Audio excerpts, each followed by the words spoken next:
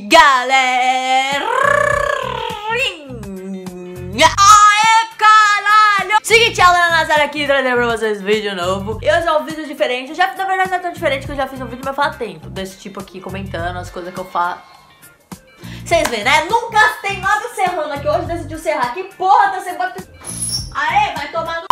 Quando eu fui assistir o filme do palhaço lá que comia a gente, eu também fiz um vídeo aqui falando pra vocês. E ontem, ontem pra quem tá assistindo o vídeo hoje, foi ontem, mas tiver assistindo o vídeo outro dia, não é mais ontem. Que dia é hoje? Ela, eu não sei, gente. Não sei a data de hoje não, porque eu sempre me perco no dia. Eu tenho noção se tá no começo, no meio no fim do mês. Enfim, não importa quando eu fui assistir. Eu fui assistir a porra do filme da desgraça da freira. Todo mundo falando dessa, dessa freira, dessa freira, dessa freira, dessa freira. Achei que eu ia ser abençoada, mas não era nada disso. Ah, porque o filme da freira, saiu o filme da freira, vou assistir o filme da freira, bora assistir o filme da freira freira, freira, freira, freira, freira, freira, freira, freira. Tava, tava quase convertendo. De tanta gente falando sobre essa porra desse bendito desse filme da freira. E a gente, como teimoso, a gente sempre teimoso. Eu não sei vocês, gente, mas o meu cu, como que acontece? Bateu um vento, ele já tranca, entendeu? Eu, eu vi minha sombra na parede, meu cu já trancou. Eu sou uma pessoa metrô. Eu meto macho, gente. Eu meto macho com todo mundo. Eu brigo, eu vou lá e falo, ei, mas mexeu com o espírito, demônio? Meu Deus, mexeu com esse negócio de espírito, demônio, exorcização aí. Eu viro mariquinha. Meto macho com todo mundo, mas na hora que é com o espírito, eu viro marica. E eu não tenho vergonha de admitir, porque assim, de gente dá pra correr, gente se machuca também, então se a gente dá um chutão vai sentir dor. Agora, espírito não tem pra onde correr, não. Espírito é você ajoelhar, pedir socorro pra Deus, mas não vai adiantar muita coisa, que provavelmente o negócio não vai dar certo. Você me deixa doido.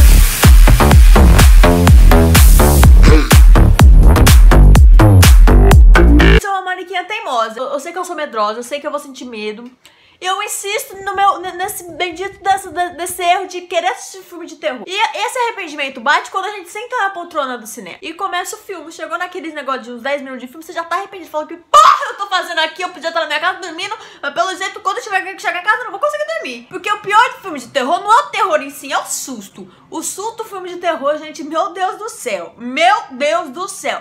Porque é assim, tá? Todo mundo tá fluindo normalmente, o filme tá rodando e tal. Aí de repente para, some música, some tudo, some. Quando some música eu acho pior. Mas também tem aquela, às vezes, com aquela musiquinha que vai, sabe? Ela vai crescendo assim.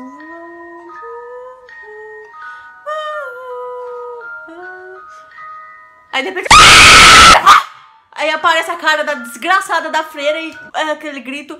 Na hora que começa essa musiquinha crescente, assim, lentinha, que tá tudo silêncio, aí a câmera começa a girar, né? Porque a câmera gira. Começa a girar assim, começa a girar. Aí quando a câmera tá aqui, eu falo, hum, aí tá aqui atrás, certeza. Vai tá aqui atrás. Vai, vai, vai, certeza que a hora que a câmera virar aqui, vai aparecer a desgraça da feira bem aqui. E aí o burro, né? Porque, gente, filme de terror, como eu já disse no outro vídeo, oh meu Deus, pegaram todos os burros e tacaram no filme de terror. Porque tá aqui, tá sentindo. A gente sente quando tem alguém atrás da gente. A gente tem aquele sentido de, de que tem alguém nos olhando, tem atrás da gente.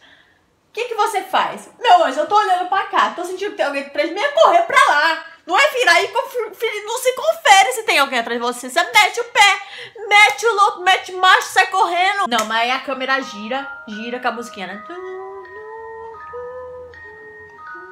Aí vai girando, vai girando, vai girando. Chegou aqui, pá!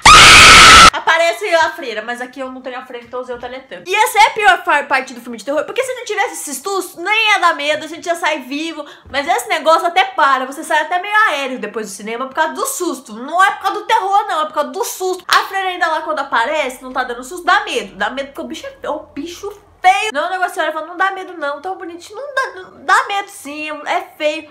Mas a pior parte do filme de terror, com certeza, é o susto. Sem o susto, filme de terror não ia ter, não, não ia ser terror, não, gente. Ia ser só um filme de alguém feio. Esse tipo sete monstrinho, que tem um monte de monstrinho feio, mas não dá medo. Agora, uma coisa que eu descobri, e eu não sabia que eu ia descobrir, mas eu acabei descobrindo. Gente, vai, vai ter spoiler. Então, se você não assistiu ainda, sai da porra do vídeo e depois você assiste. O que eu não sabia, gente, é que esse filme era uma continuação de outro filme que eu não assisti. Eu não assisti a Invocação do Mal, não era? A Lana, como você não assistiu? Não assisti, gente. É porque a culpa é, dos, é, é de amigo, entendeu? Porque eu não sou de assistir filme de terror, não. Quando eu falo que eu tenho cagaça, é de verdade, eu sou mariquinha de verdade, de verdade mesmo. Só que aí, amigo, vamos, vamos, vamos, gente, vamos, vamos, dá nada não, dá nada não. Você fala, tudo bem, vamos então. Puta merda, mas a hora que o filme começa, você fala, filhos da puta! Nunca mais vou na dos meus amigos. Nunca na minha vida eu entro na de vocês, bando de merda, lixo, podre. Então eu, eu não assisti Invocação do Mal. E eu não sabia que era continuação, porque aí no final o menino terminar possuído lá com uma cruz virada com ponta cabeça aqui, aí a Có entrou nele, aí ele possuiu, virou, né, virou aquele negócio lá que aparentemente aparece, não, aparentemente aparece, no, no outro filme, né, que é a Invocação do Mal, mostra como aconteceu a invocação, a freira, gente, mostra como aconteceu a Invocação do Mal. Ou seja, na Invocação do Mal, pelo que eu entendi, mostra o menino possuído. Aí na freira mostra como foi possuído, que foi pelo, pelo negócio da freira. Agora, eu não, não entendi, gente. Porque começou a outra enforcada, eu não entendi muito bem porque ela se enforcou. Pra fugir da freira, beleza. Mas eu não entendi porque a outra quis sentar na porta sabendo que ia puxar pra ela, ela ia morrer. Eu não entendi. É coisa que só filme de terror tem, tem muita coisa que não dá pra entender. Agora sim, um bagulho que eu fiquei encasquetada com esse filme, que foi na hora de dormir. Na hora de dormir eu lembrei do filme sim, não tem como falar que eu não lembrei do filme não. Lembrei do filme sim, gente. Na hora de dormir, gente, eu, eu durmo aqui, né? E aí meu celular fica carregando aqui. E do nada veio a freira na cabeça. E, e, e pra eu querer virar de costa, virar pra trás e, e pegar meu celular? Não peguei meu celular, gente. Eu dormi, sem, eu dormi com meu celular longe de mim. Essa noite porque eu fiquei com o negócio da cabeça. E outra coisa que me assustou essa noite, que eu fiquei encasquetada, eu não sei na, eu não sei na casa de vocês, no quarto de vocês, mas no meu quarto, eu durmo com esse, com esse crucifixo, né? Pendurado ali no negócio da cama. E o medo dessa cruz virar de puta cabeça, gente. Gente, tava fora do normal. Eu falei, gente, eu vou olhar pra trás. O, a cruz do crucifixo vai estar tá virada de ponta cabeça. A freira vai entrar e vai me possuir. Então aí eu fechei o olho e dormi, gente. Porque eu não sou burra que nem gente de filme de terror de olhar pra trás e, e, conferir. Eu fecho o olho e durmo. Se acontecer alguma coisa, pelo menos vai acontecer comigo dormindo, eu nem vou ver. E Alana, o que, que você achou do filme? Eu, como sou cagona, eu senti medo. Não tem como dizer que eu não senti medo. Mas eu acredito que uma pessoa que ame filmes de terror e assista, tipo, sempre filmes de terror, não foi tão forte assim. Eu mesmo, que não sou de assistir filmes de terror, já assisti filmes de terror mais forte.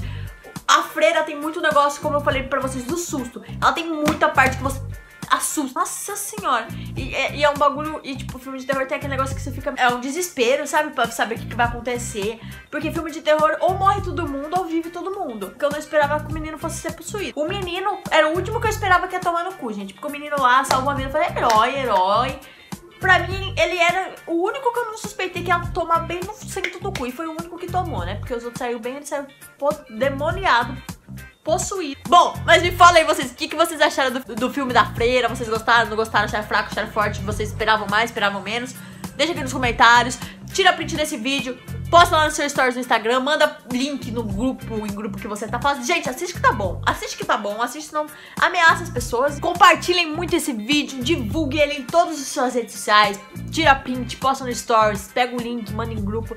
E tira print disso, disso tudo e me manda lá no meu Instagram, que é Alana Nazário, que eu vou responder todos vocês que estiverem divulgando o vídeo mandando pra mim, beleza? Então é isso, até a próxima!